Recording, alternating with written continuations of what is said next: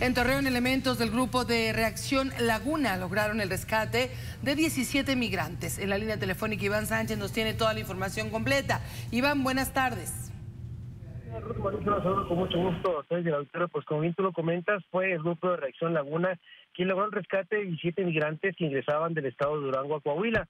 De acuerdo a los informes de los uniformados, fue cerca de las 2 de la mañana con 15 minutos cuando sobre el periférico López Sánchez en los límites de ambos estados, frente a la Puerta María se logró este hallazgo. En el sitio los agentes le marcaron el alto a un camión de pasajeros de la línea chihuahuenses. Tras abordarlo para hacer una revisión lograron percatarse que había entre los usuarios que provenían de la Ciudad de México personas que no acreditaban su estancia en el país o nacionalidad.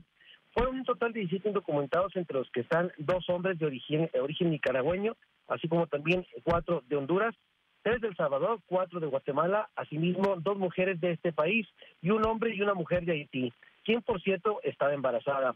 Todos ellos fueron llevados por el personal de agentes a una revisión médica y posteriormente entregados al personal de Nacional de Migración para su para ser enviados a su país.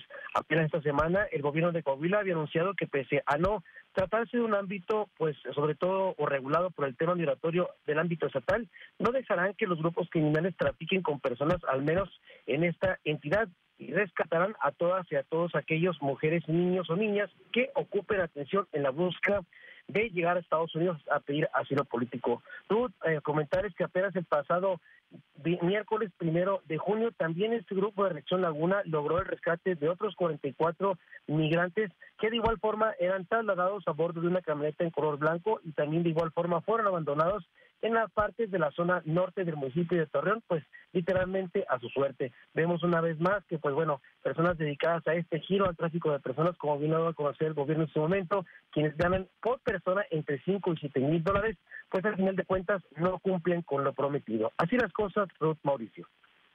Así es, Iván. Bueno, pues es una lástima que desafortunadamente estas personas hayan tenido que entregar el dinero que luego les eh, cuesta muchísimo trabajo reunir para pagarlo a coyotes que luego los hacen eh, tener que regresar a casa con, los bolsos vacíos y arriesgándose a infinidad de cosas. Sobre todo, bueno, pues eh, si mencionamos que uno de estos migrantes es una mujer embarazada, pues que está en más riesgo. Así que qué triste que esta situación se siga dando pero eh, pues afortunadamente llegaron a manos de las autoridades y no de personas que pues tal vez trafiquen con ellos mismos. Muchas gracias por tu reporte, Iván.